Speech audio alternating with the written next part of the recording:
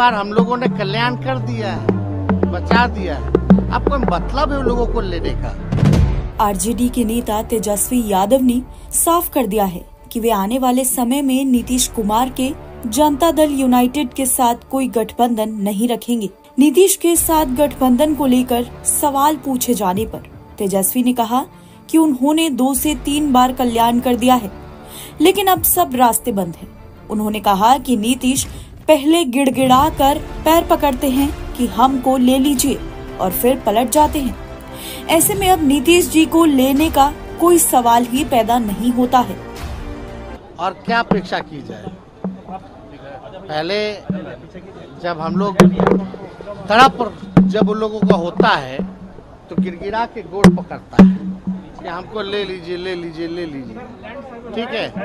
दो तीन बार हम लोगों ने कल्याण कर दिया है। बचा दिया है। अब कोई मतलब है उन लोगों को लेने का? कोई सवाल ही नहीं पैदा होता। अब छोड़िए अब उनके बारे में हम क्या बताएँ? कोई मतलब नहीं है उन लोगों का आने जाने का। हालाँकि बिहार में इस तरह के की बयानबाजी जारी रहती है। पिछले दस सालों में नीतीश की जनता दल यूनाइटेड और राष्ट्रीय जनता दल के बीच दो बार गठबंधन हो चुका है और दो बार टूट भी चुका है। इस साल के इस रूठने मनाने के दौर में भी ऐसी बयानबाजी देखने को मिलती रही है। नीतीश कुमार ने जनवरी 2024 में पाला बदला था। उन्होंने अपना मंत्रिमंडल भंग कर दिया था और एनडीए में शामिल होकर दोबारा राज्य में सरकार बनाई थी। उन्होंने नौवीं बार मुख्यमंत्री के रूप में शपथ ली थी। इससे पहले वे आरजेडी के साथ गठबंधन सरकार में थे। इस सरकार में तेजस्वी यादव उनके मुख्यमंत्री थे।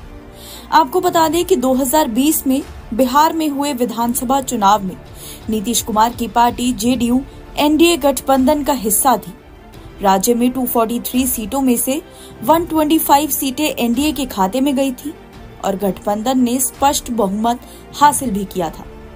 बीजेपी को 74 और जेडीयू को 43 सीटें मिली थी। हालाँकि बाद में नीतीश कुमार ने पाला बदल कर 75 सीटें जीतने वाली आरजेडी के साथ गठबंधन कर लिया था। लेकिन लोकसभा चुनाव से ठीक पहले वे फिर से बीजेपी के साथ गठबंधन में शामिल हो गए। अहम बात तो ये है कि मौजूदा समय में नीतीश कुमार के समर्थन के दम पर ही केंद्र में एनडीए गठबंधन की सरकार बनी हुई है। भाई, हम बीच में इधर उधर हो गए थे। लेकिन अब हम फिर आ गए हैं। अब हम पर, परमानेंटली रहने के लिए आ गए हैं। चिंता मत करिए। तो वहीं 2024 लोकसभा चुनाव के नतीजे सामने आने के बाद नीतीश कुमार और तेजस्वी यादव एक ही फ़्लाइट से दिल्ली पहुँचे थे।